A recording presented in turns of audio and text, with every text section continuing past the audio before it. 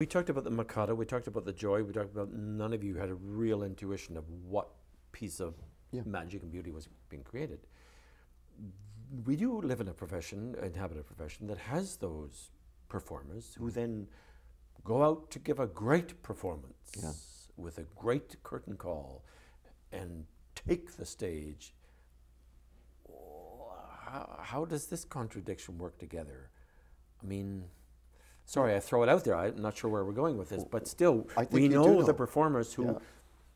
But you know, you've, you've interviewed how many people? Like, you know, you've sat down with other, other actors and you, and you're surprised what you find sometimes. and the people who are the reverse of you, who absolutely want every bit of attention in that room on them. And that's the reverse of what you do. But that's not a strength, is it? No, but it's part of the performing animal. Um, Not in you, but in certainly some performers. I've worked with them, and you just say, "Okay, I'll sit over here and let it burn." Fine, okay. And if they look my direction, I'll I'll give them the line back. But you can't penetrate it. You can't speak to it. It's burning, and But that, that therein lies the problem, I think. I think you and I both have experienced, I'm sure every actor in, who- who's been in this business has experienced that. And I always believe that that was a true impression. What I'm finding out about in my life is that that true impression is not necessarily so. right. You know, like you, you mentioned an actor, I won't mention his name Right. right now earlier, and he said he's incredibly shy. I would never in a million years have thought that. But maybe his protection and his awareness, we man, I, I manufactured confidence, he manufactures confidence and maybe arrogance for a reason, Right. because it's disarming. Because not a lot of us have real confidence. I want to talk about one other kind of performer, and I will name him because I'm a huge admirer of him, Brent, Brent Carver. Oh, I love the man, love him. And to see what you think about this, Brent, for me, burns part of himself every time he right. performs a show. He has an incandescent thing that not only is very, you can't take your eyes off him, but it seems to me watching, he's self emulating in some way a piece of himself. Is that what he's doing? Yeah, None of us know we're on the outside, but Oh, you yeah. see Brent as well. yeah, yeah. And I think that's, I, I think that's a remarkable description of I think what he does. There, there are particle, big chunks of him are getting burned all the time. Interesting choice of words too, because there's, there's that in his life. because I see that a lot in the sing singer world. Mhm. I see some singers who are technical, and I see some singers. Well, there's been the famous ones, the Edith Piafs, who burn, right, and they literally burn their lives out early. Yeah.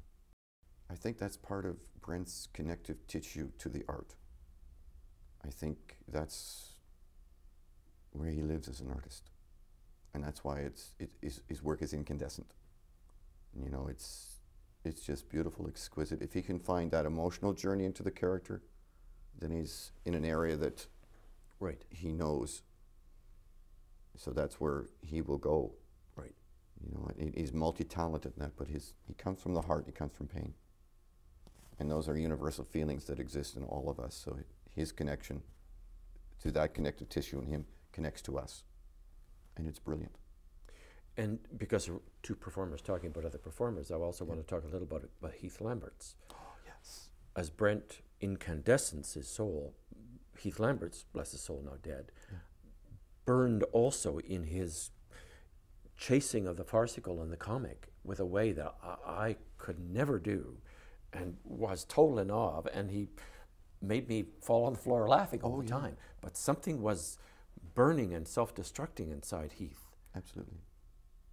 except in a comedic for- form. But yet, some of his most poignant work was non-comedic. I never saw it. His Cyrano. His Cyrano, right? Yeah. His Cyrano was breathtaking. Breathtaking. I had a chance to work with Heath in the last couple of years down in Pittsburgh because that's where he went, and we did um, Oscar Wilde's. Was it Oscar Wilde? Yes, Oscar Wilde's. Um, the play about Oscar Wilde, based on his trial. What was the name of that? I can't remember. And um, Heath was wonderful, but he was, and we used to share a car. The theater provided a car, and we both shared it. I guess they gave it to the Canadians. So it was kind of and we had this place out in the country, and he stayed in a different place tonight. And we'd talk all the time. And I'd never known Heath until that time. But he was like always trying to pay back a sin that he felt he'd created.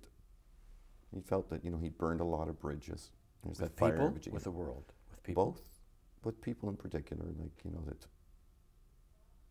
And he was a Buddhist at that point. He was trying to find peace. He's always been trying to find peace, because the flame was so great with him and so intense, that people didn't want to work with him because it became Heath's show because he was just he was so brilliant at it. And he said, I, he- didn't mean to be that way. He didn't mean Mhm. his the product of his being a performer wasn't meant to hurt other people, other performers, or to put them in a shadow. It just he tapped into something that just became almost deliriously overwhelming. Would you say it was a demon? I'm not saying it's a Oh, yeah. demon, but some would say, well, he, the, the performer is a Sorry. demon, has a demon inside them, and the demon is exercising his way out. Yeah. And he wanted to purge that. He wanted to make up for it. He wanted to be forgiven for it. That's the impression I got. Because at heart, he was a very gentle soul hmm and a very wonderful man, very self effacing. And he could say things to me comically about the world. Yeah. No, well, you come a little close to it, but he uh, he's told me comic things about life through his elbow or his prop Oh, yes. or his tone that not only made me laugh, they were re- revelations. Yes. And you know, that's I go, I owe, I owe to that performer.